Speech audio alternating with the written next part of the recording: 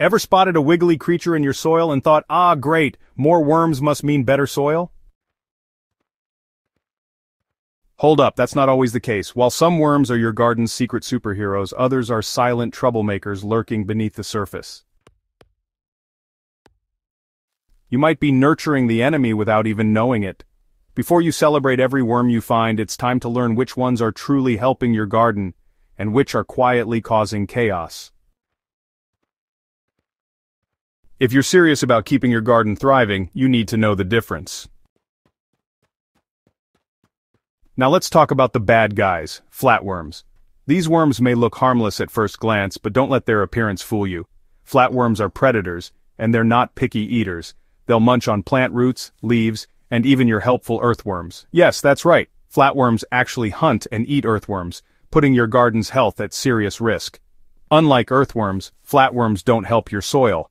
They don't aerate it, and they don't enrich it with nutrients. In fact, the more flatworms you have, the fewer beneficial worms you'll see over time. These ribbon-like invaders often show up after heavy rains or in overwatered soil, and they can spread fast if left unchecked. If you're not sure what kind of worms are in your garden, it's easier than you think to find out. Earthworms are usually brown or pink, long and round in shape, and you'll notice their bodies are clearly segmented. They'll often be found deep in the soil or hiding under mulch.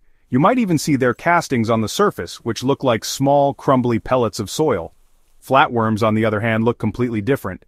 They're flat, hence the name, ribbon-like, and often have bright or unusual colors like yellow, orange, or even striped patterns. Unlike earthworms, flatworms tend to glide on the soil surface rather than burrow into it. If you see something that looks like a wet shoelace slithering over your mulch, there's a good chance it's a flatworm. How to fight back and get rid of flatworms.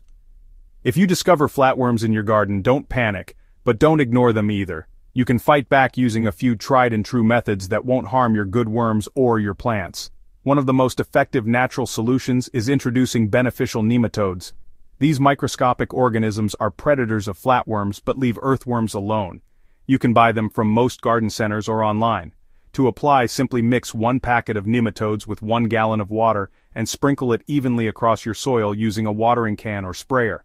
Make sure the soil stays moist for a few days afterward to give the nematodes time to work. Another method is using diatomaceous earth, a natural powder made from fossilized algae. It looks like fine flour but feels like tiny shards of glass to soft-bodied pests. Sprinkle a thin line of diatomaceous earth around the base of your plants, or across areas where you've seen flatworms. As they crawl over it, the powder slices into their skin, dehydrating and killing them. Be sure to reapply after rain. And here's a big one. Don't overwater your garden. Wet, soggy soil is the perfect environment for flatworms to thrive. Keep your watering consistent but not excessive, and try to water early in the morning to allow the soil to dry during the day. If you discover flatworms in your garden, don't panic, but don't ignore them either. You can fight back using a few tried and true methods that won't harm your good worms or your plants. One of the most effective natural solutions is introducing beneficial nematodes. These microscopic organisms are predators of flatworms but leave earthworms alone. You can buy them from most garden centers or online. To apply, simply mix one packet of nematodes with one gallon of water and sprinkle it evenly across your soil using a watering can or sprayer. Make sure the soil stays moist for a few days afterward to give the nematodes time to work. Another method is using diatomaceous earth, a natural powder made from fossilized algae. It looks like fine flour but feels like tiny shards of glass to soft-bodied pests. Sprinkle a thin line of diatomaceous earth around the base of your plants or across areas where you've seen flatworms. As they crawl over it, the powder slices into their skin, dehydrating and killing them. Be sure to reapply after rain. And here's a big one. Don't overwater your garden. Wet, soggy soil is the perfect environment for flatworms to thrive. Keep your watering consistent, but not excessive, and try to water early in the morning to allow the soil to dry during the day. It's easy to assume that all worms are helpful, but now you know that's simply not true. While earthworms are your garden's best underground allies, flatworms can be silent destroyers. The key to a healthy garden isn't just having worms, it's having the right worms.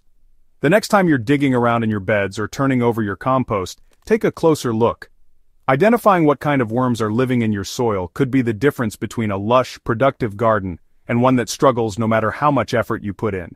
So don't just let worms wiggle around without question. Learn to recognize the heroes and keep a close eye out for the villains. Because when it comes to worms in your garden, not all are created equal, and your plants are counting on you to know the difference. Stay rooted, stay curious, and may your garden grow stronger with every handful of good soil.